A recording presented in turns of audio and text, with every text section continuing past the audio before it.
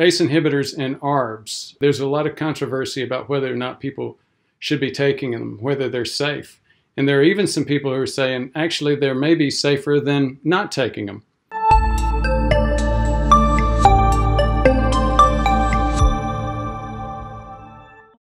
This YouTube video comes from the program component of the YouTube Live program on Friday, April 3rd. It's on the blood pressure medicines in COVID 19. So, again, we're talking about ACE inhibitors. For those of you who are geeks, want to know what that means, or just curious, angiotensin converting enzyme inhibitor. And ARB means angiotensin receptor blocker. So, why are these an issue for COVID 19? You may remember this came from MedCram. They were drawing the issue here. ACE2 receptors in the cell membrane are what the spike protein from the coronavirus latches onto. ACE2 receptor is how that virus gets into the cell. So there have been questions and concerns about it. There was an article in The Lancet that talked about this. We'll talk about that article in Lancet that raised the whole issue. And then we'll start talking about the responses from groups like the European Society of Cardiology, ESC, other standards committees. Then the New England Journal weighed in on it, and finally, the American Heart Association.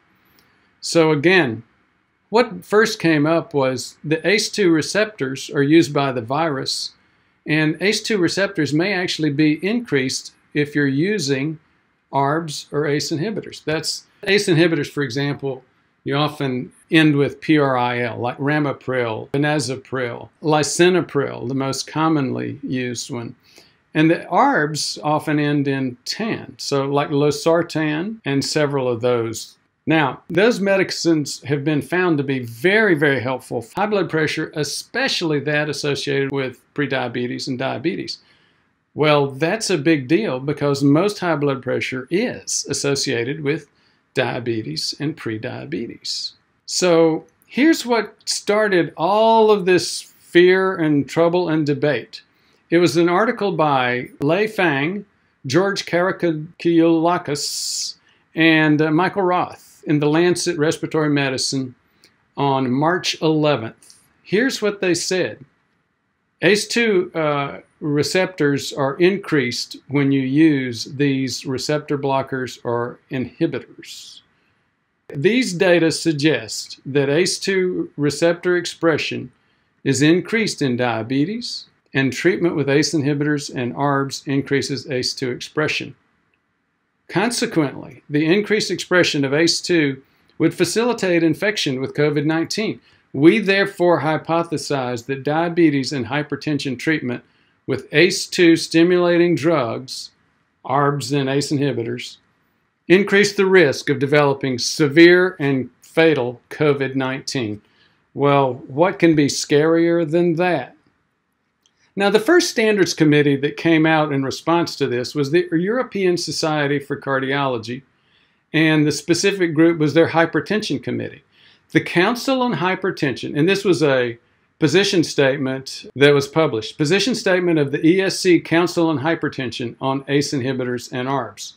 The Council on Hypertension strongly recommend that physicians and patients should continue treatment with their usual antihypertensive therapy because there is no clinical or scientific evidence to suggest that treatment with ACE inhibitors or ARBs should be discontinued because of the COVID 19 infection and that was Dr. Giovanni De Simone, the chair of the ESC Council on Hypertension.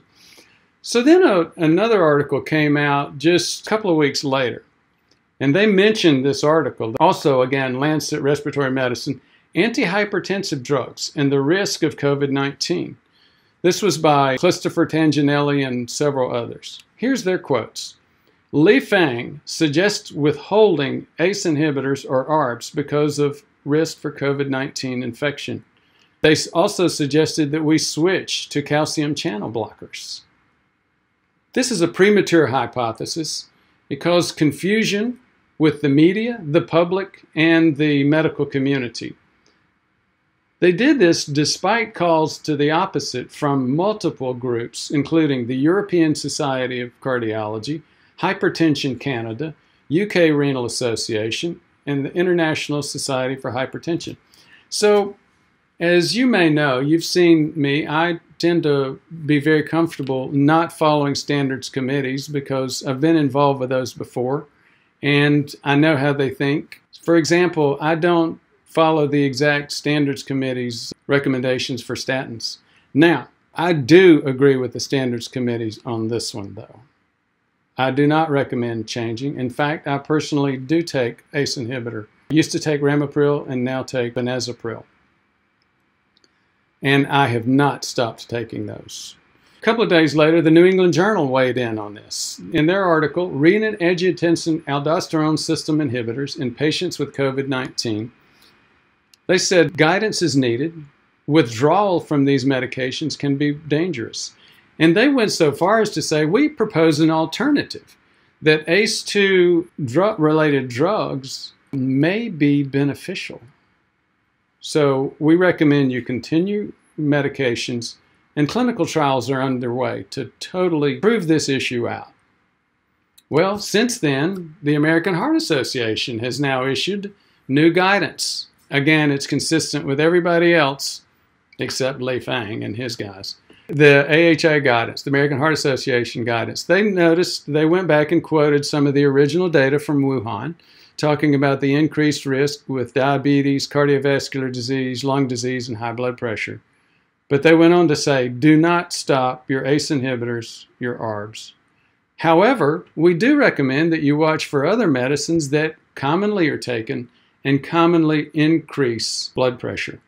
For example, NSAIDs, nonsteroidals like ibuprofen, Motrin, oral contraceptives, alcohol, and pardon me, I misspelled alcohol there. Caffeine, they said limit it to three cups per day. And even some supplements and other types of foods like licorice. So there you have it. There's the facts so far. Is it totally proven and conclusive? No. Uh, this is way too early to be conclusive. But I do agree with the standards committees on this one. I think it would be premature. And as they've said in the New England Journal article, I do think there's a strong possibility that these may even help compared to not taking them. So I'm still taking my benazepril until and unless things start to look very different. Thank you for your interest.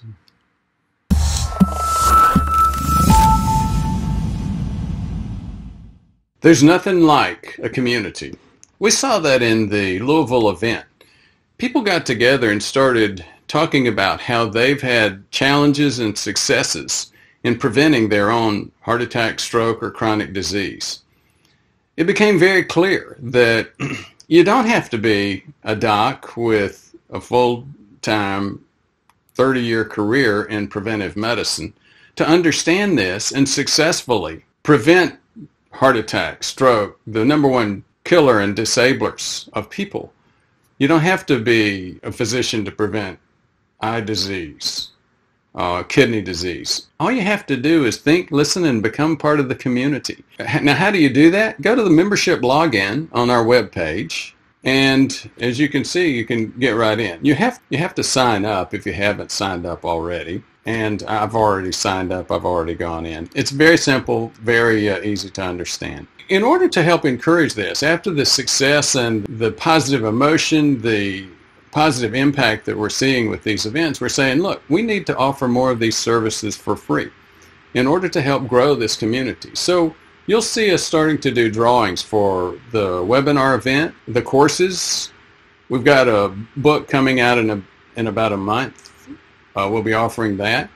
Even full-blown evaluations, providing those uh, for free for folks that, again, help us grow the community. So if you'd like to find out what the most recent rules are for the most recent drawing, just come to the membership page. Thank you for your interest.